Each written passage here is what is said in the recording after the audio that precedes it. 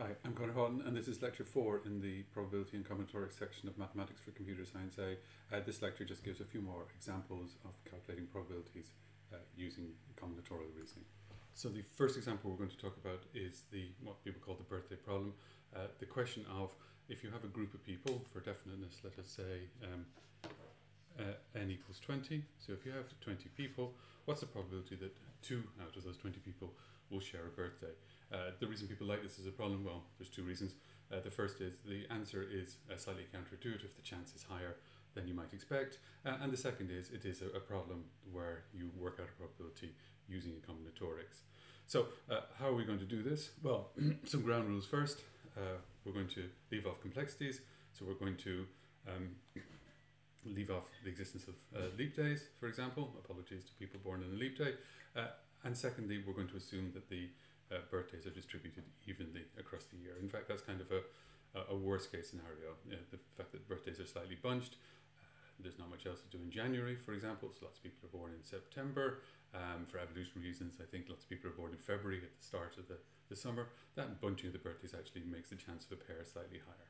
But we're going to leave uh, all of that out. And so the problem becomes one of distributing uh, birthdays to, to the 20 people. So you can imagine the 20 people uh, lined up like so. One, two, three, da, da, da. This is person 20 here. So we have 20 people, uh, and we're going to give each of them a birthday. There's two scenarios. The one is the sort of total number of ways of doing this distribution. Uh, that's the thing that's going to go on the bottom in working out the probability. So this is where there's uh, no pair. Sorry, I should say, um, what we're interested in is the chance that at least two people have the same birthday. Calculating that sounds quite complicated because uh, the problem of at least two people having the same birthday includes the problem of precisely two people having the same birthday, three people having the same birthday, two people having one birthday, two people having another, and everybody else having different birthdays. So working out uh, the at least uh, probability uh, might seem complicated. It's much easier to work out the, the other thing, the probability that no people um, ha have, have the same birthday. So uh, the thing that goes on the bottom will be uh, the probability, uh, just the total number of ways of distributing the birthdays among the people. So um, there's 365 days that uh, dates that you can give this guy, uh, 365 days that we can give this person, this uh, this person here. There's 365, and so on uh, all the way down. So we have uh, 365 uh, to the power of 20, basically. Now, if we were doing the same thing, um, but we're doing it without any two uh, of these people having the same birthday, well then the, the first person, there's still a choice of 365 days that we can give to that uh, first person. But the second person, there's only 364 uh, days. And the third person, uh, there's 363. And so this time, when we're distributing uh, the days of the year uh, to assign people as their birthdays in this description of the birthday problem, um, the constraint that we don't want two of the people to have the same birthday means that we go 365, 364, so on, all the, the way down to um, 3, 4, 6. So that gives us 20 numbers on the bottom. The usual thing, this is the zeroth number, and so this is the 20th number here. And so the probability of the event of no pair is going to be equal to this thing 365, uh, 364, blah blah blah, 346, over 365 by 365 by uh, 365. Uh, and so the number on the top uh, is the number of ways of distributing the birthdays along the list um, where there's no pairs. The number on the bottom um, is the ways of distributing uh, so that uh, so that there's no constraint. Uh, you might worry that I have an ordering ambiguity. Um, doesn't matter what order I, I, distribute the birthdays in. Well, the order there's a different description where you just give out the birthdays and you don't worry about the order, that will introduce a, an ordering combinatorial factor, but that will cancel on the top and the bottom. So both ways of thinking about it are equally good. And this one's, um, in principle, this one's easier to write down. Um, just note in passing for when we do the general case, uh, and also uh, for when you, if you're actually working this out in a computer, um, that you can split this up into individual little fractions like so. Uh, so the advantage there, um, the immediate advantage is often when you're working out things like binomial coefficients, uh, factorial type things, working out the, the number directly, uh, can quickly overwhelm the integer register on your computer and, leave you dealing with extremely large numbers. Often in working out uh, binomial coefficients, for example, even for uh, reasonably small numbers, it's important not to uh, work out the, the numerator and the, and the denominator and divide one by the other, but split the terms up in, in, into pairs and work them out as you go along. So this number here would be a big number. These individual numbers are all floating point numbers, uh, just less than 1 or equal to 1 in the first case. In fact, if you do that, uh, what you get is uh, 0 0.59 thereabouts, like so. And so that wasn't quite the thing we were interested in. We were interested in uh, the probability that people um, share a birthday, and so that's given by um, p uh, share uh, is equal to 1 minus uh, p uh, no pair, uh, and that's uh, about 0.42. So if you have a group of 20 people, the probability that two of them will have, at least two of them will have the same birthday is 0.42 or 42%. And uh, I don't know how, what your intuition was, uh, but mine would have been that the probability would have been much lower. Uh, we can of course easily work out uh, the general case. Uh, well, like so. Um, so if, if now we just have n people, well the probability that they share is 1 minus the probability of no pair, as above. And the probability that's equal to 1 minus, and now we just do the, um, we take the set of um, fractions we had before, and instead of having 20 of them, we have, um, we have n of them. Like so, so i equals 0 to n minus 1. So that's n terms starting at, at i equals to 0. Um, and so that gives us a, a formula for the probability that two people share a birthday in a group of n people. And I have a graph of that here. Uh, so this is a graph of the probability uh, of a match, at least one match, against uh, n here. So this is n here, and this is the graph. You can see it has a sort of soft max type appearance. Uh, this is uh, 20 that we were dealing with before. It's coming to, oh, I should say, yeah, 0.42 or uh, 0.41 it should have been like so and you can see that uh, even for quite a small group it already is, is is 50% if you have 60 people you're almost definitely going to have at least one pair with the same birthday uh, there's um, code for that available uh, on the github it's called birthday.jl and that's just the code I used to work out that, that graph so that's the first of the two examples I wanted to do the second example is uh, the so-called partition function or it's an application of the partition function. So let me first say what the partition function is. So the partition function.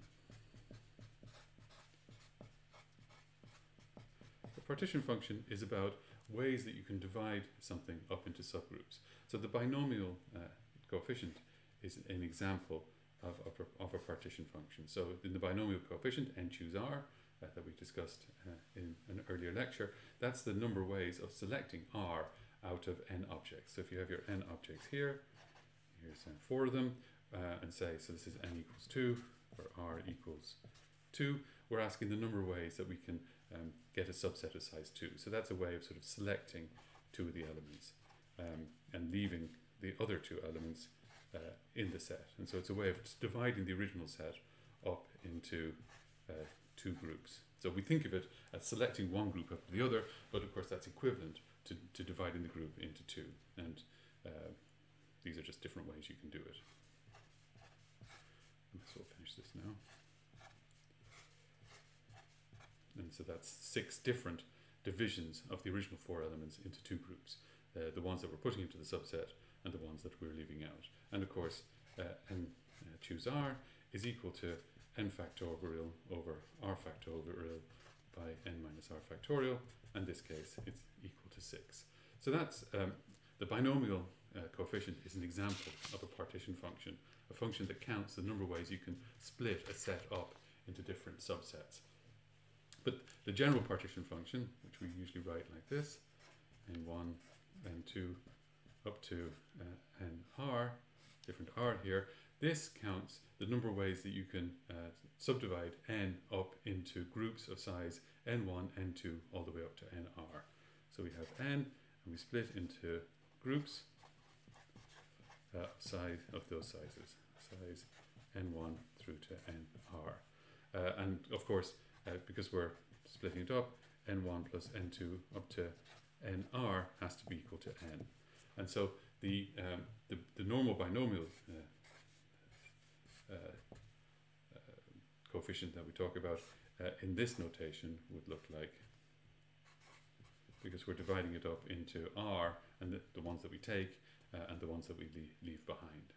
Okay, so if you have, if you had, uh, let's say, six objects, n equals six. Oh, sorry, I should actually give a formula for it. And the formula, which um, is easy enough to uh, work out, derive, um, but we'll uh, just write it down here. Uh, it's equal to n factorial over n1 factorial, n2 factorial, all the way up to nr factorial. I'm sorry that we've used R for two things. R here is the number of subgroups. Uh, this R here is the size of subgroups. And here we're having two subgroups. So uh, the partition function, n divided into n1, n2 up to nr, is given by n factorial over n1 factorial, n2 factorial up to nr factorial. So uh, to do an example of size uh, 6, so say we had six objects and we're dividing them up into one group uh, of size 3, one group of size 2, and one group of size 1. So how many ways can you do that? Well, that's 6 divided into 3, 2, 1. So that'll be equal to 6 factorial over 3 factorial by 2 factorial. 1 factorial is, of course, 1. So let's go back to that. So we have uh, n equals 6, and 1 equals 3, and 2 equals 2, uh, and 1 equals 1. So we're dividing a group of six objects into 3, 2 and 1.